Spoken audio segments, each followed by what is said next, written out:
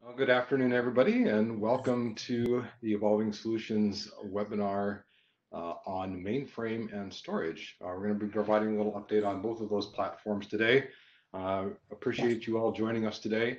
Um, I'll mention it again, but uh, anyone and everyone's welcome to ask questions during the course of the webinar today. There's a Q&A window, and you can feel free to pop anything in there. I'll do my best to uh, pass those questions along uh, to our guest today. Um, and i today I'm joined by a couple of architects from Evolving Solutions to dive a little bit deeper into these couple of platforms. Um, I'm sure that most of you are familiar with Evolving Solutions, but I know that there are a couple from the registration list that may not be as familiar with us. So I just wanted to quickly touch base and let you know a little bit more about us. I'm Michael Downs. I'm the CTO for Evolving Solutions. Uh, we're a solutions provider that uh, focuses on helping our clients modernize and automate their business critical infrastructure in support of their business transformation. Um, I appreciate you joining us today. One of the things that we spend a lot of time speaking with our clients about is this idea of modern operations. And this actually was something that our clients brought to us a number of years ago as there were significant changes happening in the industry. Uh, one of the key challenges is ensuring that you have the capabilities to both support your existing environment as well as be able to support the innovation that you're making in the technology space. And being able to adopt uh, processes and tools and training that allows you to support the, both of those environments is sort of at the core of modern operations. Um, and I really think, honestly, that mainframe is a key part of, and mainframe and mainframe storage is a key part of modern operations. And that's one of the things that I wanted to uh, to spend some time talking about today and why I invited uh, Roger and Jim to spend some time with us. And speaking of Roger and Jim, um, speaking today for with Evolving Solutions is uh, Jim Fyffe. He is the Z Systems architect with Evolving Solutions. He's been here for four years after an extensive career at IBM helping clients around the world. Um, he is responsible for leading uh, the technical portion of our uh, Z Systems practice. Um, I'm also joined uh, by Roger Ecklund. Uh, Roger has spent 25 over 25 years supporting and architecting mainframe storage environments. Uh, joined Evolving Solutions in 2019. We're extremely uh, happy to have him here working with us. He's worked with some of the largest mainframe clients in North America uh, in that environment. And as mentioned, he's worked with, since he's been here, had the opportunity to work with most of our mainframe clients in providing either architectural suggestions or uh, performance and capacity uh, studies with them. So um, part of what I wanted to have these two gentlemen talk about today and why I invited them here today is uh, some interesting innovations that are taking place um, that between IBM mainframe, uh, Z Systems, and IBM storage. There's some great synergy between these two platforms, and you'll sometimes hear referred to as platform synergy. Um, but before we get into that, I wanted to give uh, Jim the opportunity to share some information about some recent updates to the mainframe uh, portfolio. So Jim? Thank you, Michael. And first, I'm saying a hello to Mr. Bob Dodd. I see him, he's logged in, one of several attendees. But Bob, it's good to see your name on the short list. I trust life is good in Louisville, Kentucky. I've got some very fond memories of the Seelbach Hotel. It was a great, great experience supporting your account and I hope things are going well. Now, there's a couple of items. I mean, maybe the first thing to talk about might be first the synergistic relationship between Big Blue, that which is in Poughkeepsie, and which develops the iron, which is what we're looking at here, and storage. You know, I when I was with IBM, I would take pride in the fact that Z, we own the IO architecture. And um, and so we can we we certainly shape it. And there's a strong relationship between IBM Poughkeepsie and the storage division that results in innovation that is IO-centric. So primitives like PAVs, Z high performance FICON, and even hyperlink technology that takes channel attachment and moves the service time from second to microsecond. That stuff's pretty innovative. And, you know, count key data devices, because that's what you connect to these bad boys, right? Not all vendors are created equal. There are there's solutions out there, there's storage capabilities that aren't quite as mature. Fit a, they fit a, they fit a need, all granted, but don't have some of the foundational technologies like PAVs that we. Now, Michael, for your specific question on this chart, we'll lead with Big Blue turned the technology crank again this year. They do a good job of doing it. In the lower right-hand corner, we see in what's kind of a blue, you know, the Jim Fyffe blue font, you know, um, the IBM Z15 T02. That's a 19-inch rack-mounted bad boy. That's the logical follow-on to the ZR1.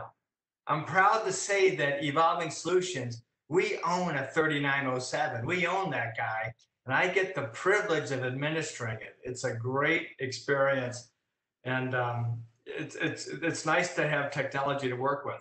Now, as we look at this, we go back some number of generations. We go back to 2010, where the top row, for those that know this platform, those are the enterprise class machines, historically a proprietary frame and always a pair of frames. Two of these frames, if you somewhat can kind of look, there's like two frames between the N-4 196 and the Z14, the N-1 technology. And that's a de depiction of currency. Current technology, which was announced last September, is 19-inch rack centric, the Z15 model T01. And um, it really built off of what was developed on the Z14 ZR1, which we own. Some other items, when we look at the T02, just because that's kind of the brand new shiny box from Big Blue, it's, um, it's for the small to medium business. So and it's quite it's quite a capable machine. When you look at if you would use MIPS as the way to measure horsepower or capability, it's upwards of um, you know a 90 MIP unit, 98 MIP uni, you know, as one. It's a that's a kneecap server that can drive well 1700 MIPS for a uni processor. And we know on that class machine, you can have up to six engines tied to MVS for the operating system. Some other pieces that are worth pointing out is over the years, you know, clock speed has made a nice steady improvement. And even where clock speed remains flat, like when you move from the Z14 ZR1 to the Z15 TO, T02, the clock speed's the same, and yet clients moving from a ZR1 to a T02 engine for engine, they're going to see on average a 14% improvement in throughput capabilities, right? And it's uh, it's tied to the design and what the guy, you know. I'll probably close with this because I don't want to take up too much of Roger's time. But there's 65 engines that we can configure on the T02 as an example, right? I told you six of those bad boys can be for the operating system, like ZOS. The other ones could be specialty engines or certainly host Linux. Very capable Linux box. It's even capable of hosting a Docker native co-located as an address space within ZOS with the right features. Back over to you, Michael. Maybe you've got some thoughts on the uh, security encryption capabilities between the two platforms. Thanks, Jim. Um, for those of you who know Jim, he's both shy and retiring. Uh, not at all passionate about the platform. So we're super uh, super privileged to have uh, Jim working at Evolving Solutions. Just I love the level of excitement that he brings to uh, brings to the platform. Um, Jim mentioned security, and I think one of the critical things in the, the, mainframe platform has always been security. It's designed for having a secure environment and uh, one of the things that is uh, wanted to highlight around the synergy between uh, System Z and the IBM storage platform is some recent updates to uh, the ability to do endpoint, uh, fiber channel endpoint security on the IBM 8900 platform. So I'm going to let Roger dive into that quite a bit more deeply than I can. Thanks, Michael. Uh, thanks, Jim, also for for kicking us off here today. Um, one thing I wanted to talk on, and I, I see Jim went through the history here uh, of the processors. I really don't have slides to go over the 8880s and, and the 8900s. I mean, they are, I feel, the, the best boxes, the best storage subsystems in the market today, along with replication and everything else. But what I really wanted to focus on here was the fiber channel endpoint security. Um, fiber channel endpoint security is really an extension of pervasive encryption, security, and data protection. Uh, the historical evolution began back in 2011 when IBM came out with the full disk encryption or FDE capable DS8Ks. Uh, this was with the introduction of the 8700 and 8800s. This provided encryption for data at rest. Many but not all companies took advantage of this feature. Um, pervasive encryption really emerged on the scene when the IBM Z13 came out in early 2015. Um, pervasive encryption was slow to be adopt, adopted, but had much interest. Uh, databases such as DB2, CICS were fairly easy to convert to pervasive encryption, but there was a 11 to 13% overhead hit on the Z13 to per, you know, to uh, to do the encryption and decryption. So in in mid 2017, IBM came out with the Z14, and one of its big features was reduction in overhead for encryption, which reduced the overhead to two to three percent. So we really started to see a real push, and especially by the large banks, financial institutions, um, and some other large companies. However, PE really did not cover all of your data. Um, so that brings us to the Z15 and especially the, the T01. IBM came out with that in September of 2019. This new box delivered zero overhead hit for pervasive encryption. And let's see, when the Z15 T01 is connected to the new DS8900s, it delivers fiber channel endpoint security. Fiber channel endpoint security consists of two categories. First is the endpoint authentication. This ensures business and customer data is accessed only by trusted servers and storage devices. Secondly, and most importantly, encryption of data in flight, or EDIF. Your data is encrypted within and across data centers without application or operating system changes and without consuming host CPU cycles, regardless of your operating system, be it ZOS, ZVM, or even Z-Linux. This means PPRC, Metro Mirror, Global Mirror, Metro Global Mirror customers, end-to-end security. Michael, next slide, please.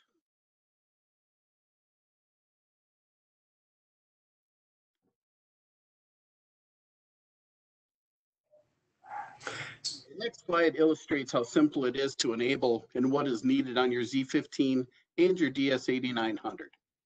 On the Z side, you need to have the CP ACF feature, the endpoint security feature, along with some FICON Express 16 SE channel cards. By the way, CPA ACF, Central Processor Assist for cryptographic functions. It provides improved performance. And by the way, you can trust me on that. I Googled it, so I'm pretty sure that's correct. On the DS8 side, the key is the channel cards. They can be long wave, short wave, but they need to be 32 gigabit if you want both authentication and encryption. By the way, you do want that. Um, however, if you have the 16 gig cards, you can still enable authentication. Um, and you also need security key lifecycle managers, your SKLMs, to be at version 3.0.1. Um, that's it. Back to you, Michael. Awesome. Thank you. Appreciate it, Roger. Um, this is uh, the security is obviously a critical piece of, the mainframe and storage that IBM brings, but it's also a critical piece of modern operations.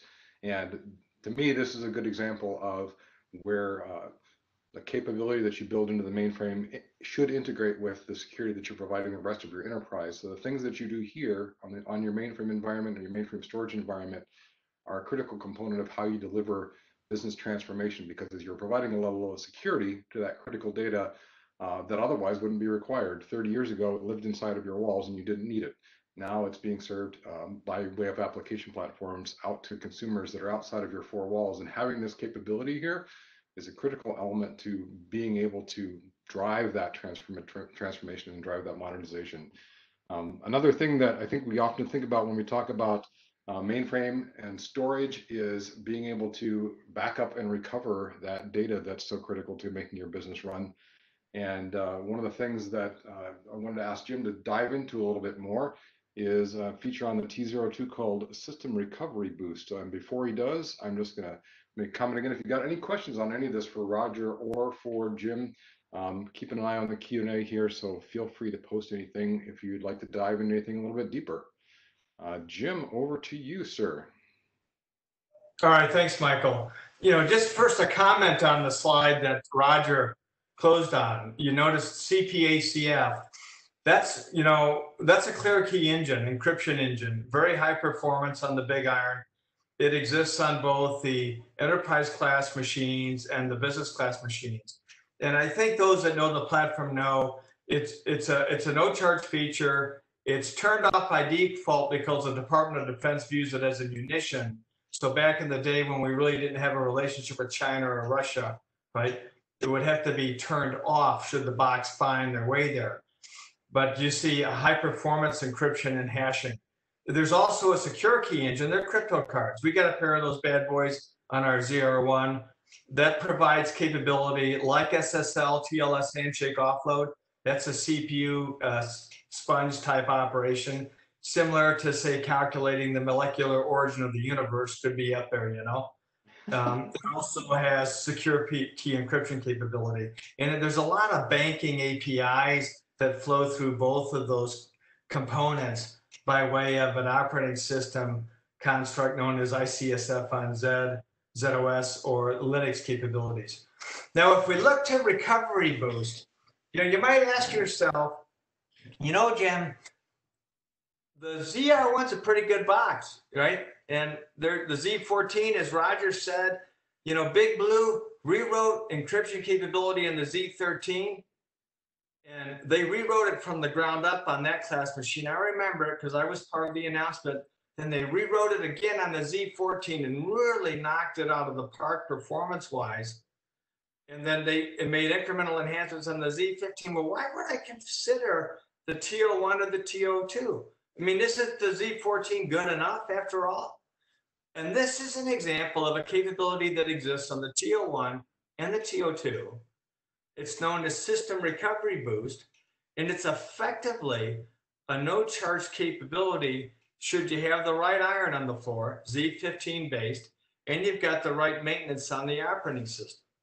Now, what we have here is uh, what I want you to do is first pay attention to what's really the red line, right? When you think about your environment, think about an LPAR.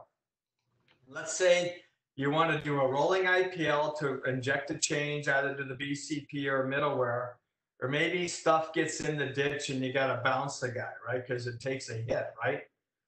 That's the left side of the chart. And the point is there's an event that's going to trigger an operator action. And without recovery boost in red, whatever horsepower you've got allocated to that LPAR, and that's general purpose engines, right? At whatever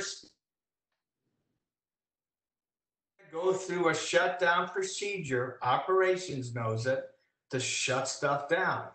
It's usually considered good form to not do a reset normal against the LPAR, right? You want to try to bring things down gracefully. That drives you down to point two. Then between two and three, right, that's where operations you're either strand them because it's a problem, right? Or you're um, or you're just basically making some type of configuration change, and then you'll find your way back to the HMC, do a load against the LPAR with the light load part, right? Correct load parts, right? That initiates the restart. And for those that know that has kind of watched MVS over the decades, when you watch the messages up on glass, you get those early NIT messages where there's not too much intelligence loaded, you know. You see the consoles come alive, Comcast initializes and consoles get some personality, right? So ZOS is effectively up. Then all those core subsystems come up, like the resolver, right? Like you get the start for JES, right? Things start to start breathing, right? And then the middleware comes up And then all the while, right, stuff sits on the queues, clients are waiting to hit the enter key, middleware's up and you can, you can basically process work and it's a backlog. Well, what System Recovery Boost will do is when you're, when you want to bring an image down, it- there's no magic. You'll put in some maintenance, you'll start a proc as part of your shutdown. And the proc is gonna basically say, look, the, uh, whatever speed those engines are, and think for a moment if it's a T02, and all those capacity settings, hundred and fifty plus capacity settings from A to Z, right? You can have a little AO1, little kneecap guy humming along at 98 MIPS. That bad boy just grew to a 700, 1760 MIP uni to drive the workload down, right? And if you happen to have any zIIP engines, those are those specialty guys for like DRDA or IPsec, that kind of stuff, you know? Those guys can even run general purpose work. So we can drive the image down a lot faster. That's the green line. You still got to go through that. What do we want to accomplish? But two kind of plays into GDPS, which is some automation technology. The latest release of GDPS has an update to its verbs that drive higher levels of parallelism, which is kind of nice, right? The control LPARs deal with that. And the folks that know that know what that LPAR is, right? Then you start the restart, right? You kind of initiate the restart. And now MVS isn't running on an AO1. You might have an AO3. Who knows what you have? The point is, those bad boys are running at full speed plus the zIIPs. So the operating system reload goes faster. The subsystems that we know and love come up a lot faster. The middleware comes up faster, right? And then notice how the green line kind of goes up. This is one of the few times when IBM's going to give away MIPS to you, right? Because basically, your MVS engines are full speed, your zIIPs are running at full speed, and it's driving down the JES2 input queue. And when CICS comes up and DB2 and all the massive TSO users come in and flood you, right? It can absorb that rush of work for 60 minutes. That's what's happening here. And that only exists on the T01 and the T02. That's some real net value add. So maybe a bit belated, Michael, but I hope hope it kind of gets the point across. You know? So that's that's fantastic. I, I, just fascinating the way that I think IBM sort of continues to take advantage of the platform um, in ways that necess- didn't weren't necessarily obvious before. I mean, if you think about zIIPs, they were created originally to optimize the usage for particular workloads, right? Um, and now It's being able cool. to take advantage of those, though that capability to add new value, to me that that's really interesting and innovative. Um, It really is. And it's, it's some of the best minds out of Poughkeepsie, Dave Sermon and the guys writing this stuff. And it kind of goes back to the synergy, you know, what this discussion's all about. I mean, Big Blue designs the iron and they own the operating system that sits on top of it and some of the key middleware, right? Yep, So I agree with you. And I mean, I think this is also a good example of the way digital transformation has changed IT. Um, yeah, we never wanted the box to be down, but now it becomes even more critical for to get back to steady state as quickly as possible to be able to continue to serve clients and high value users in a different way, uh, had a different expectations. And a lot of when we talk about that, a lot of times we end up talking about cloud, um, and everyone talks thinks of public cloud as a key piece of, of modern operations. Um, I think it's interesting that uh, IBM's done some very interesting things to take advantage of public cloud, even around the Z and the storage platform. And one of the things I wanted to have uh, Roger dig into a little bit more is this uh, capability in the IBM platform called transparent cloud tiering. So Roger, I'll let you uh, take over here. Thanks, Michael. Think, you know, I'm going to go off script just a little bit here. Just, uh, you guys were talking about the uptime and the system recovery and just got me thinking, um, by the way, for, for the rest of the audience, I, I've been on the customer side for, for over 30 years. And uh, it was a really proud moment after we had uh, clearly uh, IBM processors, but we had done a migration to IBM disk and we put in GDPS and Metro Global Mirror. And after a few years of having HyperSwap and high availability, it was a really proud moment when our CTO was talking to a to a huge audience and he's going he he made a mention that the mainframe is no longer five nines. And you know there there's people that really support the mainframe and there's some people that always think it should be on a different platform. And it was almost kind of he he set up set up set that up i think. And uh, some people are like oh my gosh what's he going to say? And he goes no the mainframe is clearly 100% because even though there was a couple of unplanned hyper swaps the availability was always 100% so we never had any any big failures. Um, if anything did happen data was always available. Our customers were always being served. And that is that deals with the the innovation of IBM, the synergies between the two platforms, being able to have the processors that are so tightly integrated with the storage, and it really takes it to a to another level. Um, you know, I, I'm I'm glad we're sitting here and we're we're going to revisit here uh, transparent cloud tiering. This is something that is unique to IBM. Um, I also want to mention the, the fiber channel endpoint security that we first talked on. That is unique to IBM as well. So it, it's one of those things that, you know, data protection, literally protecting your data is everybody's main concern. I mean, you, you can't have your data, your customers' data being exposed. And this is something that's unique to IBM. They've just, again, taken it to the next level. Um, that brings me to transparent cloud tiering. And this is something that, again, is unique to IBM. And, um, you know, TCT or transparent cloud tiering is really cool, right? I mean, who doesn't want to be part of this movement to the cloud? Um, some would say it's kind of sexy. So problem is many people do not understand what it means and how it works. So let's see, you can set up TCT from your DS8880 or 8900 to the IBM Cloud ICOS on-prem or off-prem. Or you can set it up so it, it writes out to Amazon S3 off-prem as a service or to your TS7700, which can be partitioned with a partition being cloud object storage and the other partition being your virtual tape as it is today. Thanks, Michael. Sorry. Um, many customers realize, well, no, that, that's fine. Next slide, please. Thanks. Um, you know, we've gone through and done analysis for different customers. And after analyzing their, their, their tape environments, they found a lot of unreferenced old tape data sets, many times not being used for one, two, maybe even three years or more. In those environments, um, they find that these candidates are, are super good to be able to move off to ICOS where they'll stay there until they expire. Unfortunately, you have to read all of these tapes back into your system and then they have to, um, well, and then they're moved out to the cloud. It's a one-time exercise. Some customers wait until they migrate to a new tape system to accomplish this during a migration.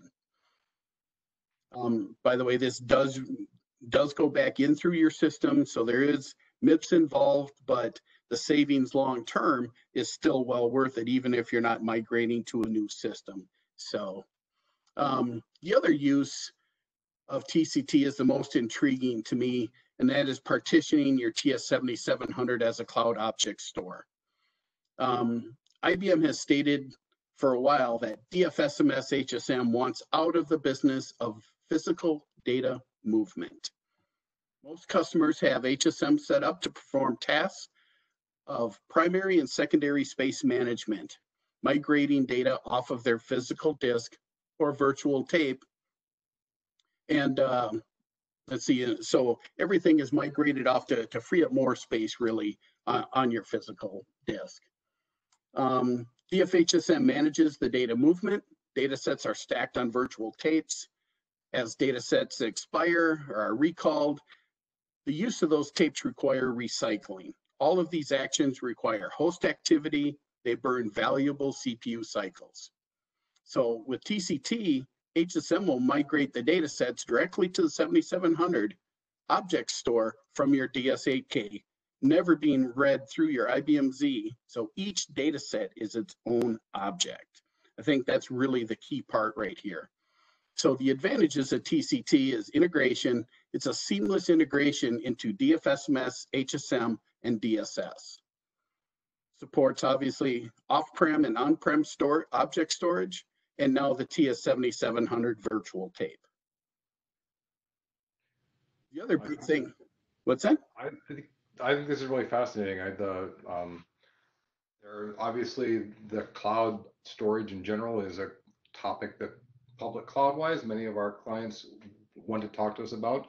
Um, I don't know if you noticed on one of our earlier slides when we are talking about modern operations, uh, we always talk about cloud as uh, it's not a place, it's a set of disciplines. And I think this is another great way of understanding that is you can take advantage of something like an IBM Cloud Object Storage or, uh, or another S3 cloud repos S3 repository uh, to be able to integrate uh, and drive this added value, uh, regardless of whether it's in the public cloud, on private cloud, um, and really, again, I think very innovative approach that the IBM team has taken to taking advantage of real uh, capabilities of cloud, not just a physical location, but what's been offered, what's innovative that um, that they can pull into the mainframe and the mainframe storage space to be able to do some uh, provide some additional capability. Um, we've got a little bit more time, and I know there's a topic that Roger is particularly passionate about, and I assured him that if we had time, he could dig in a little bit deeper into uh, into this capability that's uh, available in uh, in the DS platform as well called thin provisioning. And I'll let you uh, dig into that a little bit. Okay. Um, well, one of the things, actually, if, if you don't mind, there's a few other things as far as some of the Z synergies that I that I'd like to touch on if we still have a few minutes for that. Please go ahead. Um, I know Jim and I had both talked about some of these other things, and we we wanted to be respectful of everybody's time. And you know, the, the things that stand out to me, and Jim mentioned this earlier, was ZHPF, which is a high performance FICON. IBM has done more more advancements in that. So for extended distances, um, when we go through Disk Magic studies, it, it's really amazing when all of a sudden you you see if a customer has ZHPF turned on or not, and the difference it makes. Uh, you know, it, it it's really dramatic. So that's a big advancement. Um, Z Hyperwrite. Um, this is something IBM came out with quite a while ago, and it's it's for customers that have PPRC or MetroMirror, and it, the the host will write simultaneously both to your primary and your secondary disk in a MetroMirror environment. Um, when I implemented this before, uh, close to a 30% reduction in DB2 log writes. Now, IBM has expanded it now, so it goes beyond DB2. It's MQ and IMS, and those those uh, all of them are seeing massive reductions um, in, in their log writes. When we went through and upgraded our network and moved to everything to be 16 gig throughout, we saw another big reduction. So so all those things are, are taken into effect, but Z Hyperwrite was something really big. Um, I'll just touch on Z Hyperlink just a little bit. Jim's got a lot of experience with that and has done different studies for it. But again, it's it's IBM uh, delivering the, the low latency for for your reads, and this is really um, for for DB2 traffic, and now they're starting to to bring it into other areas as well. And uh, one more thing as far as the synergy is like easy tier application. This is something where when DB2 reorgs are going on, and let's say people, a lot of customers still have either hybrid boxes or multiple tiers of flash.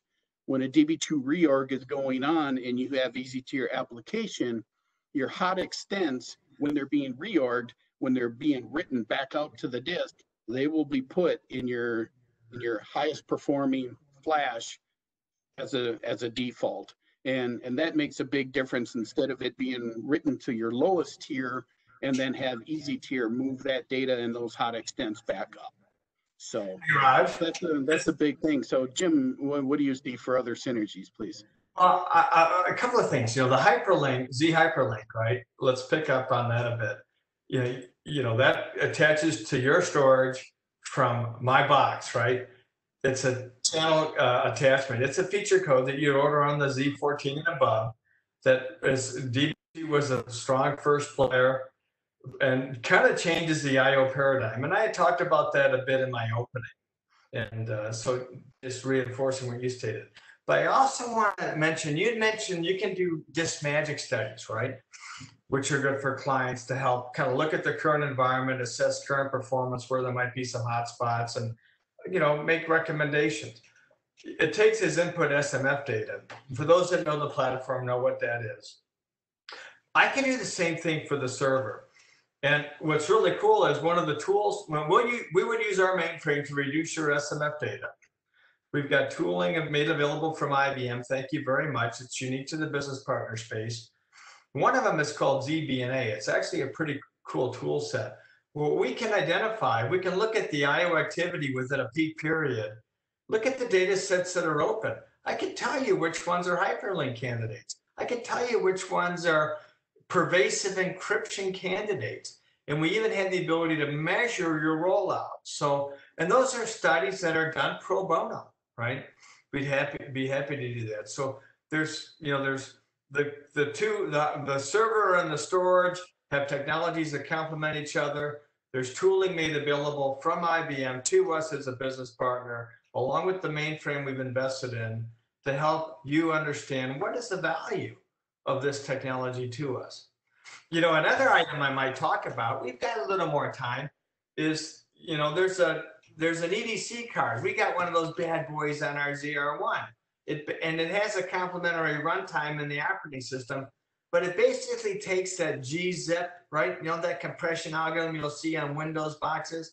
That's a pervasive industry standard that works really, really good. But you guys, that thing's been around for a really long time on servers, the mainframe servers. It works great. Customers love it. One of the firms you used to work for, Roger, back in the day, they would use it as a way to like reduce their MSU consumption. Just like MIPS is a measure of like horsepower, MSU is a measure of how big of a check you write to Big Blue at the end of the month for software, you know? So they look for ways to reduce it, right? Well, on the Z15, they took the card concept, they baked that into the chip, the processor chip, right? And there's basically a new execution unit that does it. And the beauty of it is it's extremely highly scalable, far more than the card. The card was great, don't get me wrong. You could have 16 cards on a box, but you can only kind of fill it to 50% capacity because on the mainframe, we care about HA, you know, high availability. And Murphy is alive and well living in data centers. Stuff can fail, you know. Well, on the on the brand new shiny box, the T01, T02, they blew that away, man. It's highly scalable, tied to the chip. And so it's a nice example of taking a base technology, making it even better, and then extending to the business part of the tooling that we need to help you as a client understand what does this mean in English to us? How does it improve our TI posture, our technology investment posture? So that's that's kind of my two cents, right? Awesome. Thanks, Jim. Appreciate it. You know, excuse me. Say, Jim, you, you were mentioning about the zEDC cards, and uh, I, I'm trying to remember what exactly IBM said as far as uh, the compression and whatnot that you would see. But uh, I know from the customer side, and Jim, earlier you had mentioned about SMF data. Uh, we used to route everything for SMF in through the zEDC cards, and we were seeing compression ratios up to 10 to 1. So that, that that's just a, another savings. If your data is compressed, it's going to run faster, utilize less space, all, all great things. Um, let's see, I, I did want to touch on thin provisioning here just a little bit. I, I know our time's getting getting down there a little bit. Um, you know, earlier I had talked about Metro Mirror and Global Mirror and Metro Global Mirror, and a, a real big concept that came out and and really um, save customers a lot of money is thin provisioning concepts and being able to have global mirror intact while they did DR exercises. And, but it was, in the beginning, it was, it was costly because you needed three full copies of your disk at your DR site. One for your global mirror target, one for your global mirror journals, and one for your DR copy. Well, with the use of thin provisioning, you can reduce that now to three physical copies, or excuse me, two physical copies, but three logical copies, which is a which is a great thing. So what uh, what I have implemented um, in, in the past here is thin provisioning on on the source box because there there's lots of different things that that can be done. Um, I've in, encouraged other customers to introduce larger model types. Um, perhaps they don't have the capacity for initially, and they're migrating from from a different storage technology to the brand new 8900s. And with thin provisioning, let's say they want to add more Mod 54s, but they don't have the capacity. Or maybe they want to move into the new EAVs, and which is anything above a Mod 54, actually. And they don't want to purchase all that extra capacity up front. What they can do is thinly provision these volumes, and it only ties up 21 cylinders per volume, which is really a cool concept. I mean, these volumes are defined to your storage unit as, you know, it could be 262,000 cylinders. But until you actually write data to it, it only ties up 21 cylinders, which is a beautiful thing, especially, you know, especially for a storage guy. And You know, Roger, I mean, as you look at this stuff, right? This is really, this is another example of synergy between the operating system ZOS and the storage subsystem. And, you know, absolutely, and this, is these are for the big shops, right? That, that bump up against device number constraints. And, you know, the thirty-three ninety architecture is, has evolved from mod ones to threes to nines to twenty-seven, right? Which is what you're hitting on. And you, the EAV, I call it a BMV, like a big mother volume, you know? Because it's a lot of cylinders, you know? And we have a couple of those bad boys defined on our DS8K that we have tied to the BPIC but it's another very good example. And you've developed, you know, you're you can define an EAV with only 21 cylinders because shops probably have a lot of small mod threes, mod nines that they got to basically do device folding. This is great technology to let them do that to then free up device numbers for growth. So very interesting. You know what, Jim? Uh, I'm, I'm glad you mentioned that too, because a lot of people think it is only for the big customers. But it, you know, quite frankly, what's true is that the smaller customers who don't have a lot of extra capacity, because a lot of mainframe shops run at that 65 to 70, maybe 75% capacity. So if you're a small shop, that doesn't leave you a lot of extra space to play, let's say, with the thinly provisioned volumes. So, you know, I have a couple of the smaller customers that wanted to add more Mod 54s into their shop and migrate their DB2 environment to Mod 54s because they were all on Mod 9s or Mod 27s. So what they do, they define these Mod 54s and then they just keep track of what their actual allocation is. They go ahead and initialize the volume, they add it to a storage group, and then they disnew their old smaller type volumes and then they go through a DB2 reorg, and voila, they start to populate these larger volumes. So the migration to the Mod 54, which they didn't have the actual, if everything was fully provisioned, they didn't have that back end capacity. So after they empty off the smaller volumes, it's easy to do a space release, and then they just initialize that volume as something not to use in the future, so they never become over provisioned. So it's it's a way for a smaller customer to be able to to go through this and move to a larger model type. For the large customers, same thing, but uh, but many times in just a, a larger extent. So no. pun You know. Roger, I tell you, man, it's nice to have you on the payroll because you've been around the block a few times when it comes to storage administration, you know? It's, it's really kind of nice. You get, bring some good experience to the firm, which is great. Benefits the clients we support too. Thanks, Jim. But yeah, it's, this part's been really fun, being able to work with a variety of clients, bring some of these things that, uh, you know, maybe a larger shop has, has taken for granted, but, you know, it's all about exposures. And you get to be able to do these things and, and bring a lot of these different disciplines across and, uh, and, and people moving forward and being able to take advantage of, of some of this is, is, is really great and it's very eye-opening. Now, I, I know that you had touched on this before and before we run out of time, I just wanted to mention that that we at Evolving Solutions are more than happy to help a customer and their, uh, with their performance, capacity planning, sizing of their disk, flash, storage, uh, TCT and or virtual tape systems. And it's something that, uh, that, you know, I, I really think brings a, a lot of value and a lot of people are, are surprised at how they're currently running. And, uh, when they start taking a look at that, they know that it's time to bring in something new that, um, that there is some help that is needed. And, uh, and we're more than happy to provide that service. That's awesome. You know, I'll add to that. We've obviously got, we've got server capacity planning. Not, that's no problems, man. We've also launched an enterprise COBOL 4.2 to 6.2 migration assessment practice. That's kind of cool. Kind of partnering with a client out in the Wisconsin area on that. Basically, you know, for those that kind of follow the COBOL, COBOL's everywhere, runs our economy, right? Not going anywhere soon.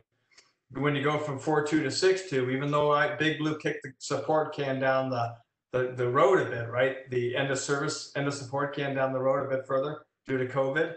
You know, there's the, eh, there's a, there's a data, an invalid data exposure when you go from four two to six two. We've got a practice, uh, an offering that allows you to understand when your code base, what that exposure is, what's the cost to fix it, right? The other item we have, we got, we're working with a firm here on the, I, I mean, I moved to Arizona, which is kind of nice. A lot of sun here now. It's kind of cool, you know?